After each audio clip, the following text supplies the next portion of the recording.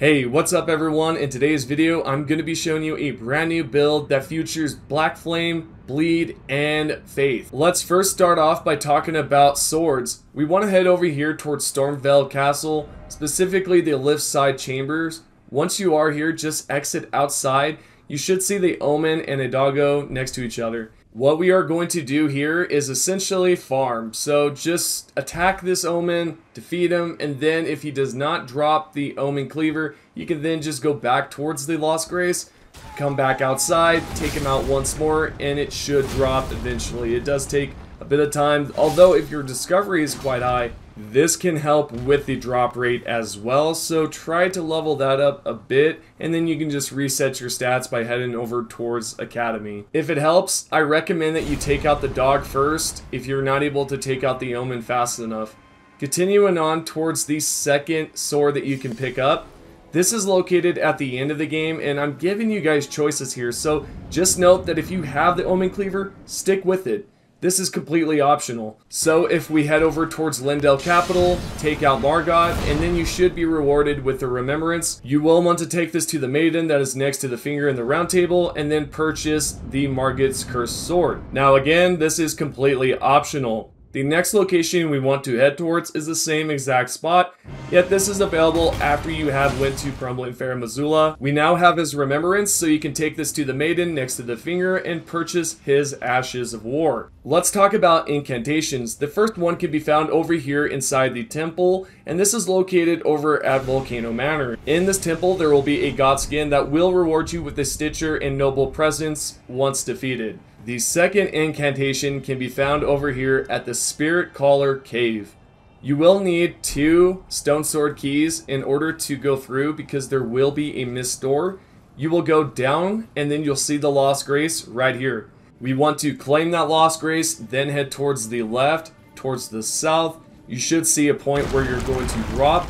You then want to continue towards the southwest what you should see, there's quite a few spirits in here that will try to attack you. Now, interesting enough, this does remind me of Shadow of the Erdtree, the whole entire uh, image that they showed us a couple of weeks ago. I think it is a couple weeks ago now. And honestly, I wonder if this is going to be something related to it.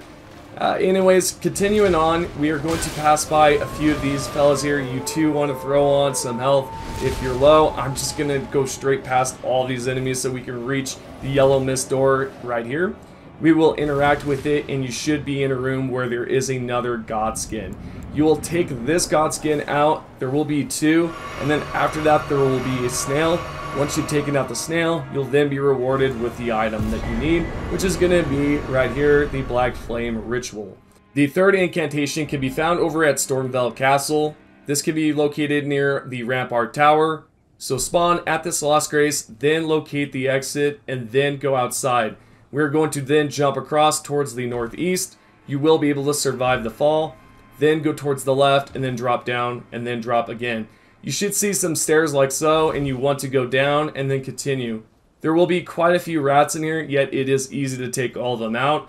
I'm going to be using the Ashes of War that we just picked up at the beginning, and it's right here. There we go, and let's continue forward towards the mist door. Use one of your stone sword keys, and once that has been done, you will then go into this next room. There's going to be a chest on the left and right side. We, of course, are going to loot both. It'd be kind of dumb not to loot it if you did just went in here and just grabbed one thing, but grab both items. There will be the Godslayer Seal and the Godskin Prayer Book. We now have both of these items. So once you have picked up the prayer book, head over towards the round table. We want to go towards the left, talk to him, and then you will want to purchase one of the incantations that will be available. The only way that it's going to be available is if we give him the prayer book. So make sure that you go towards the second option and then give. You can then go through the dialogue, exhaust it, and then go towards the incantations. The spell that we want is going to be the Black Flame. Now, the Black Flame Blade is worth picking up, yet at the same time, it only lasts 7 seconds, so just don't even bother with it because we are personally not going to be using it in the build today. Yet, feel free to purchase it because it might be useful later on. Continuing on towards the fourth and final incantation, this can be found over at the Windmill Village. If you head towards the very top, towards the northeast, you should see that there's going to be a Godskin pop up. You will want to defeat this fella, and then you will be rewarded with the item that we are going to be picking up. This will be the Scouring Black Flame. And with that out of the way, we can now talk about talismans. We want to head towards the Crystal Tunnel Lost Grace. Then you'll go through towards the entrance, locate the Lost Grace, claim it, and then we want to go towards the right, take the ladder up, and then go into the next room. This next room can be quite annoying because the insect enemy is really, really annoying. I know there's a name for him, and I just don't even want to give him a name because at this point, I just, I really do dislike him that much. So we are going to then go towards the right, go towards the left, and then we want to go up. You should see that there's going to be a roof that we want to jump on, so go towards this south, jump, and watch out for that fella that can be annoying, so try your best to avoid that, and then go towards the east. We are going to then go into the next room, there will be a ladder towards the right, we are going to take that all the way up. There will be one enemy in here that you can dodge, so do not worry about fighting him. He's just by himself. Then we'll continue towards the north, take the ladder up. This is the part where it can be kind of tricky because you're defenseless, so you're just gonna kind of have to go up or you can attack that fella beforehand. So it's up to you. In this next room, we are going to then locate the right side because the item will be right there.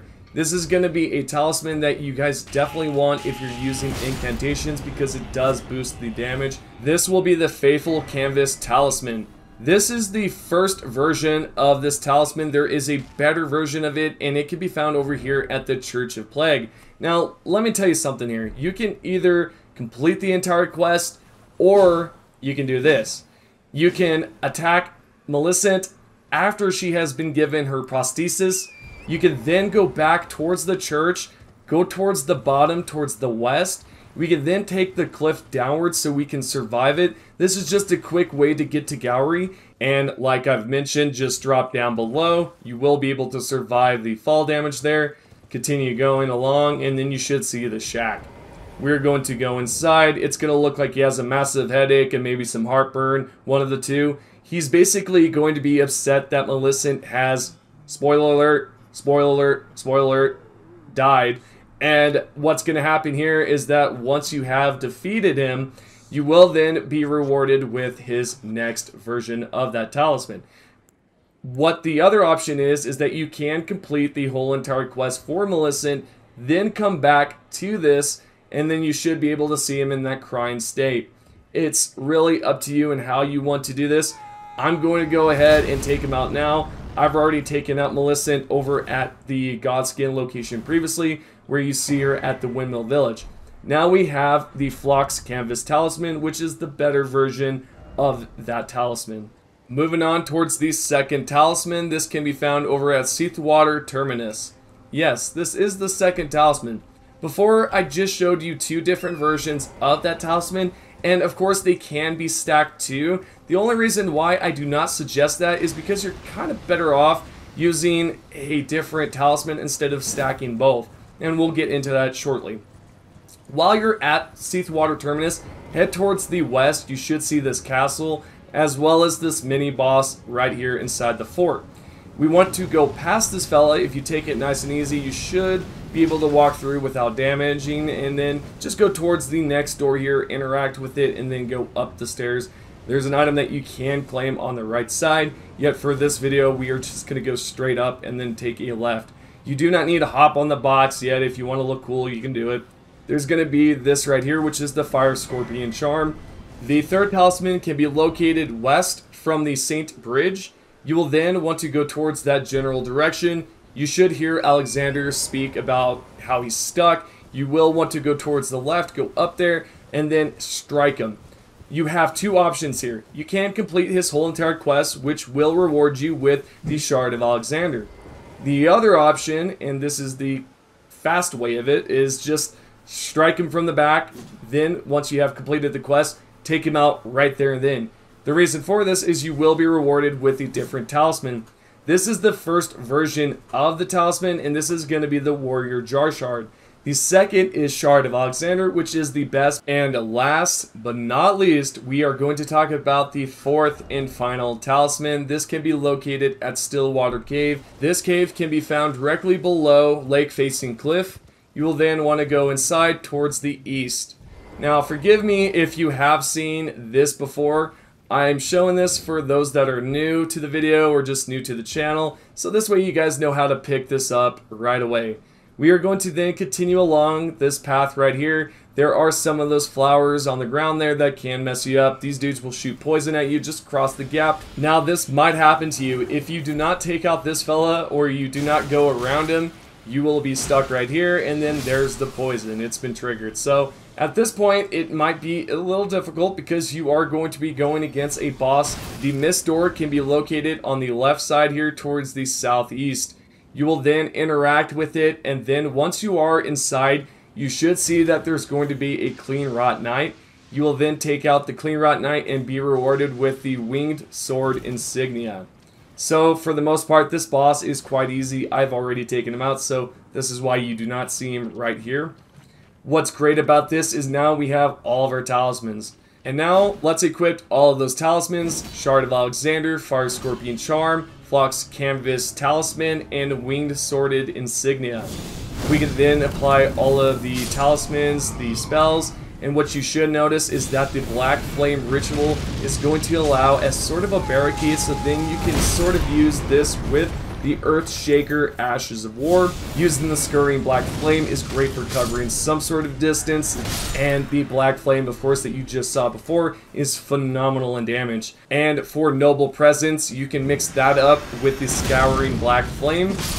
The next thing that I would recommend mixing that up with is probably the Black Flame Ritual, just because it sort of acts like that barricade, it just blocks out enemies, and you can mix that up with Earthshaker as well. If you did not know, Fire Scorpion Charm does increase that Black Flame damage, and with the Winged Sword Insignia, when we have successful strikes, our damage does increase. This is just a great build overall if you've been looking for something different.